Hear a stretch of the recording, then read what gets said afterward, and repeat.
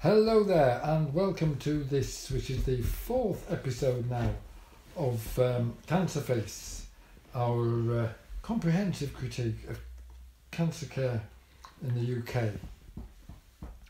Um, start perhaps this week again with our, with our correspondence. Um, again, we've been overwhelmed by the, the avalanche of emails and uh, uh, letters. It, it's not it's pretty rare, isn't it, that we get four four emails in the same week. Um, majority still about Nubsy, um, but there was uh, one particularly pertinent one uh, uh, to myself, which says, um, "Dear Ian, this story this is from uh, Mrs. Uh. Sorry, Mr. Mr. Colin Murty uh, of Leith, which is in Scotland, I believe." And he says, uh, Dear Ian, what a miserable, depressing little vlog yours is. Who wants to watch this kind of nonsense? It only makes me feel worse. Why can't you look on the bright side and count your lucky stars? He says. Which is um, interesting because that kind of chimes with some conversations that uh, me and Nubsy have been having, haven't we, over the, over the past week or so, um, about trying to make this vlog a little bit more more positive, really, um, and, and, and, and to kind of look a little more on the bright side, as Mr. Murty suggests. And uh, the way we'll do that, uh, because what, what we're trying to do is, what we're trying to do? We're trying to monetize. That's right. We're trying we're trying to monetize this vlog, um, and um, the way you monetize the vlog is is by getting lots of people watching it, and um, and then they um, and then and then you become uh, what what do you do? You catch influenza, or you become an influencer. Sorry, you become an influencer. That's right.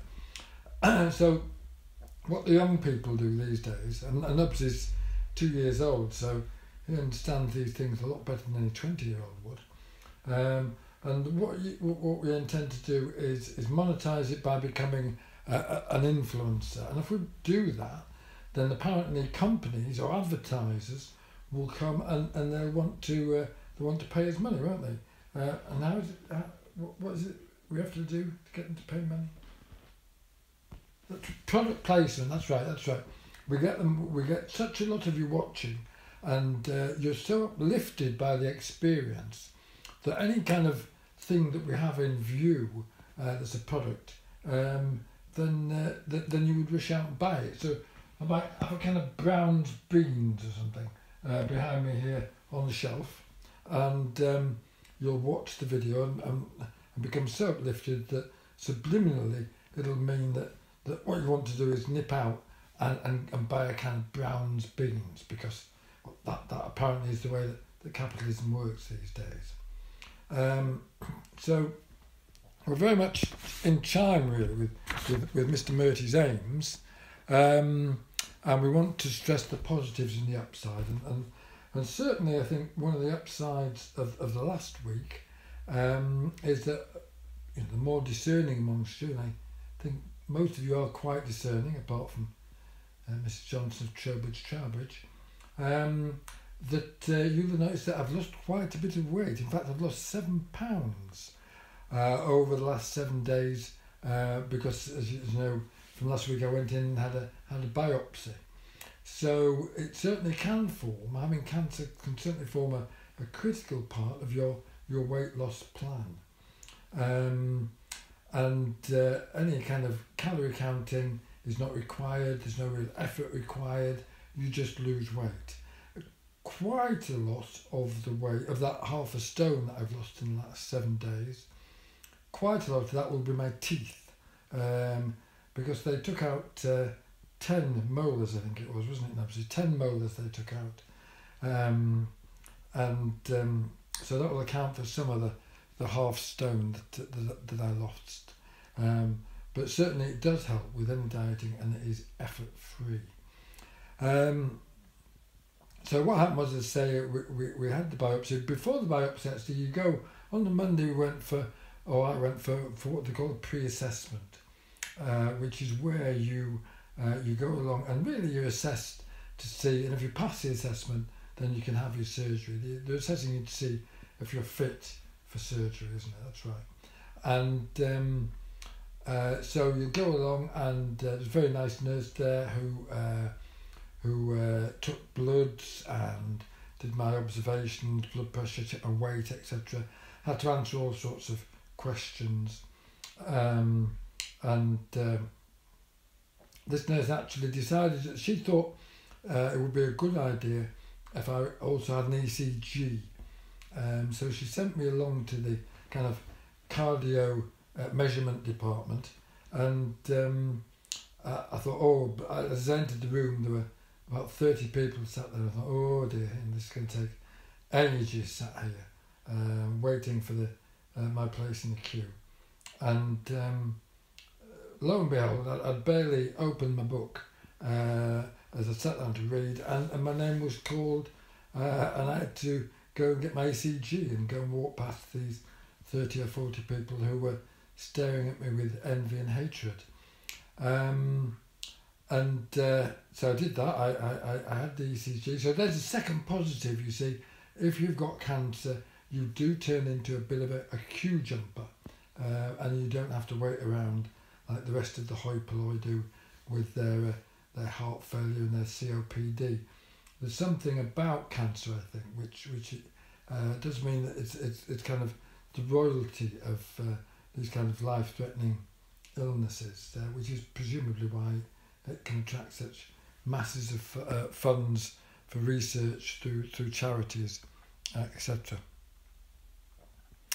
So uh, that was on the Monday, and then on the Wednesday I went in for the operation. Um, I, I had to go in for twelve o'clock. Um, they say don't eat anything for five and a half, eat or drink anything for five and a half hours beforehand. Um, and I couldn't be bothered to get about half past six in the morning, so I went in there uh, pretty hungry. And first of all, you go to this room um, where you kind of book in. Um, and I went in and booked in, uh, and about five or six fellas, all my age. It was the, the male waiting room. Um, and then after about five minutes after I'd sat down, this this this young lad comes in, uh, proper proper borough lad, um, in his uh, shorts and uh, trendy t-shirt, etc. Um, and came blustering in and said, uh, "Oh, was he in the right place?" And um, I won't try and do the accent because I can't really do it, but it's uh, I'm in the right place. He said, and the woman said, "Yes." What what's wrong with you? He said, "Oh, I got knifed. I got knifed. Uh, I was fighting and I got knifed, uh, and had a big wound uh, on his arm." Um, and I thought, oh, is going to lively up our our afternoon a bit. Uh, and he was complaining then because she asked him when he when he'd last had something to eat, which was about an hour and a half previously. She said, "Well, we can't do anything um, until at least half past four then, because you you're not going to eat." And he was oh, da, da, da, um, and uh, a bit of an unhappy fella. Um, but um, I actually left him in there because I was I was again the first to get called to actually to go through the next room, um, where and I thought, oh, this is good. Uh, maybe I'm going to get my operation done fairly quickly, and uh, I'll be able to have something to eat.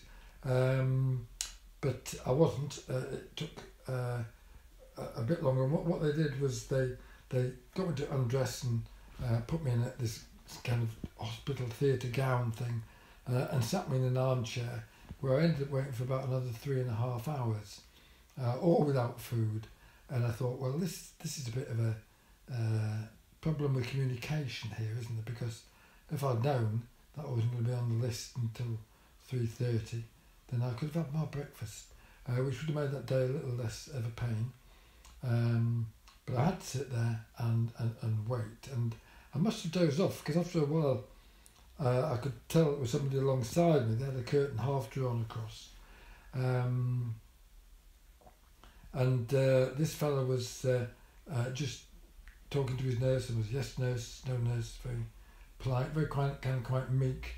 Uh, and when they drew back the curtain, I saw it was the same lad who had been there earlier on and he'd been transformed from this kind of uh, feisty Jack the lad to being an obedient little um, uh, fellow who can do anything that he was told. And uh, I thought there's something about this whole process. There's something about the way that uh, you're, you you kind of brought in, you've taken, all your clothes are taken off you, and I think that's quite a crucial thing. and then you're made to just sit uh, and wait for ages and ages, all of which kind of uh, makes you feel like you're kind of shrinking uh, as a human being. Um, and um, that you will therefore for do as you're told. Um, so that was it, and I went in and uh, was wheeling on the trolley and uh, was was knocked out. Um, when I came round, the uh, the consultant, you're a bit foolish usually after uh, uh, anaesthetic, and um, but the consultant was just coming round, uh, and uh, he had his blue kind of cap on and his gown, etc. And uh, I couldn't recognise him at all at first, and I kind of laughed when I said, "Oh," and said, "Oh, I didn't recognise you with your hat on." Um, but uh, he must have thought um, uh, I was a bit foolish, although he's probably used to that, I suppose, post-operative nonsense. And he said uh, he hoped that they got enough of a, a sample uh, to be able to um, do the staging and grading. He did warn me that if not, they might have to go back in and um, it would be altogether a riskier procedure, which wasn't exactly what I wanted to hear. Um, but that was that, and then I was over onto the ward. Uh, I had my own single room at first, but then they booted me out of it, put me in a bay. But it was the quietest bay I've ever been in. Um, total contrast to last time I was in a bay, which was for the bladder uh, operation, when uh, basically the the, uh, the other blokes in there were driving me mad with their uh, chat, um, and none of them seemed particularly ill to me. Whereas the good thing about this one was that nearly everybody uh, I, I worked out um, from their conversations on their phones, etc., and nearly everybody was having some difficulty speaking um, because of the operation they'd had. Um, but um, that was good, it was a nice little ward, uh, and the nurses were, were, were, were great um, and were very nice. And that's, that's the third plus, actually, the third big plus. Uh, you can be a queue jumper, uh, you can lose weight, but it's also uh, how nice uh, people do tend to be to you, uh, towards you when you have you have cancer. Um, and that, for Mrs. Murty's benefit, would be my third big positive. People do tend to be uh, very accommodating uh, and you can get away with all sorts. And even Nubsy said to me, didn't he? Nubsy said to me the other day, he said, I couldn't give a damn, he said, whether you live or die. Um, which is which is so much nicer than the things that he, he normally says to me. Uh, particularly, of course, as he's got six Bonios uh, riding on the outcome. He wins six Bonios if I die before him. So for him to say that he didn't give a damn whether I live or die was really, really touched me, really. So that's that, I think, uh, for this week. During the next week, um, uh, we're kind of, there's a possibility we might be called in on Thursday to get these results but more likely that will be uh, a week on this Thursday um, that we'll go and meet them again and they'll tell us about the grading and staging and uh, the six weeks of chemo uh, or radiotherapy that I've got to look forward to. I'm going for my final BCG tomorrow. Um, I'm aware I've not really described much my treatment for bladder cancer, so I'll uh, uh, we might spend a bit of time on that in the next episode, um, as well as um, coming out with some uh, meaningless banalities about being more positive about things. Um, so look forward to that. Look forward to seeing you all next week.